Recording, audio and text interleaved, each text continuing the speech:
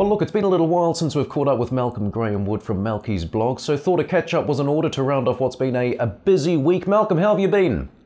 I've been very well, actually. I've been uh, on the move with the travels and so on. I came just came back from Kurdistan, um, where there's a lot going on, and um, in fact, in the marketplace, there's, there's a lot of things beginning to happen. People are doing things. In Kurdistan for Genel and, and Gulf Keystone, Malcolm. Yeah, absolutely. And, uh, you know, we had uh, two days with Genel and one day with Gulf Keystone. Um, both those operations are doing maybe a, a quite a lot better than people thought, actually. I mean, we knew that the, the oil was pumping strongly, and they've both got rising production profiles uh, and therefore rising revenue and significant, uh, you know, capex which they're doing to, to, to up the, the production. But um, you know, it's it's it's certainly quite a lot better than that. Genel have got uh, two or three very good prospects coming uh, on stream in the next year or so. Uh, particularly, obviously, Sarta, which is the deal they did with Chevron, uh, and they did the, uh, you know, they've got the Bina Bawi oil and gas field, which uh, which they're hoping to sort out with the government. And for Gulf Keystone, obviously they've got Shaikan field, which is you know, they're looking to put that up to 55,000 barrels a day and then quite a lot more than that. So they're all getting big revenues. They're all covering, you know, their capex easily, and therefore they're all doing decent dividends and in some cases buybacks as well. Well, look, I want to get your view on Solo Oil and their acquisition this week of producing assets in the North Sea. A big deal for them and one which seems to tick all the boxes, Malcolm. Yeah, I was actually really impressed by this, to be honest. I think that um, uh, when I was uh, looking at, uh, you know, their, their, the way they presented, probably the best part of a year ago, about how they wanted to deliver with the new management. Um, you know, they wanted to buy something which had production, development, and potential upside as well. Um, they wanted to get something which was uh, gas. Uh, they prefer gas to oil, and they wanted something to be in, preferably in Europe. Now, this deal they've done, the ONE-Dyas deal, uh, which they've announced this week, you know, it really does hit every nail on the head in this in this respect. It's reasonably priced. Obviously, they're going to have a uh, they raise some debt, um, and they'll raise some equity to do that as well. Um, but um, it transforms the company absolutely completely. Um, and in terms of uh, you know how it's going to be done, I, am confident that uh, the management team there is, is, is extremely good. Because uh, when it comes down to it, they've uh, they've they've done all the things they should have done really, and and that is effectively um, brought on board you know uh, a number of um, decent you know sort of people that run the business, new CFO, new COO uh, new CEO, where one of the non-exec directors has stepped into that, and Tom's one of the best in the business, and Alistair Ferguson, who has been executive chairman, is going to stay as non-executive chairman, and there's nothing that he doesn't know about gas. So, you know, they're really, you know, I mean, I suppose that uh, the the expression in the management of Solo is they're punching well above their weight. Mm. Well, no doubt you've crunched some of the numbers. For investors in Solo, what do you suspect it'll mean for their holdings when Scirocco Energy, as it will be known as, when that begins trading? Yeah, I mean, they're saying that they're going to get the documents out in, you know, before the end of the year, which would be helpful. No one likes the shares to be suspended for too long. Uh, but don't forget, the shares were suspended at 2.43p or whatever it was. Um, and that was a market cap of 15p. Now, if they're going to raise you know, 18 or 20 from debt and equity, um, I would expect uh, that number to come out a lot higher. I mean, I I think you would expect to see the shares nearer to 10p than where they were suspended at. Hmm. There's lots of upside. They continue to do deals, and we've seen like with people like RockRose how it can be. Uh, you, know, you can add these deals very well if the management are, are hard working. What about uh, Bahamas Petroleum and their attempt to get this exploration well drilled next April? How optimistic well, are you of this? Well, uh, it's it's yeah, it's a funny old thing, Bahamas Petroleum. I you know I almost laugh when I I see what they're doing nowadays because the ultimate irony was that they announced uh, on the third of. I mean, let's just wind back a little bit. They've they've worked out that if they can get a rig at a reasonable price to drill next spring uh, in that window, um, uh, they can do it for twenty-five million dollars. They've got a loan from an Australian uh, business for just half that, effectively. Um, and um, they said on the 3rd of October that they wouldn't be going uh, to the marketplace for uh, for, for, for, any. Um, you know, I think the expression that they used was that uh, it has no immediate intention of undertaking an equity placing, uh, and that was a week ago. And then two days ago, um, and that was when the share price was 2p. It said the current share price materially undervalues the project.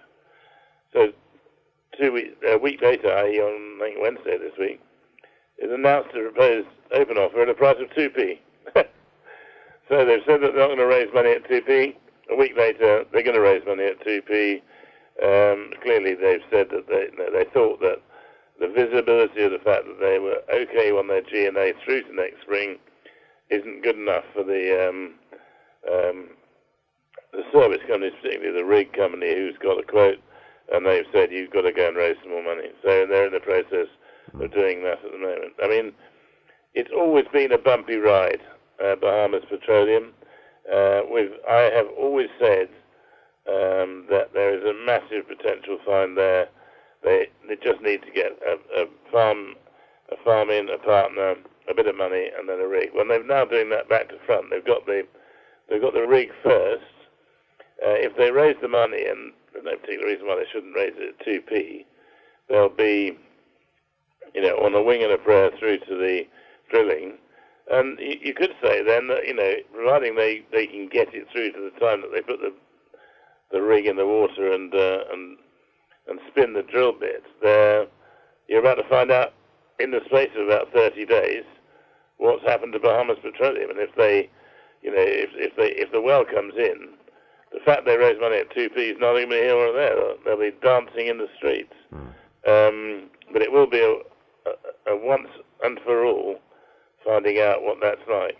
They are still trying the farm out process, of course, where um, a major international, or super major, I'm told, uh, was in the data room a year ago, uh, then walked away. My guess was that was probably because they thought it might be best to walk away and then uh, catch Bahamas on a bad day or wait until the licenses are up for renegotiation. But um, no, I mean it's um, there's a lot going on in Bahamas, and uh, with the with the, the money raised, you see the way the share price goes, and but they do talk with forked tongue.